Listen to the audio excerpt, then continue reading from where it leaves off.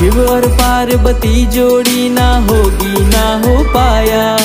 मांग सिंदूर के संग में भोले प्रेम की रस्म निभाना। कंगन ले आना शिव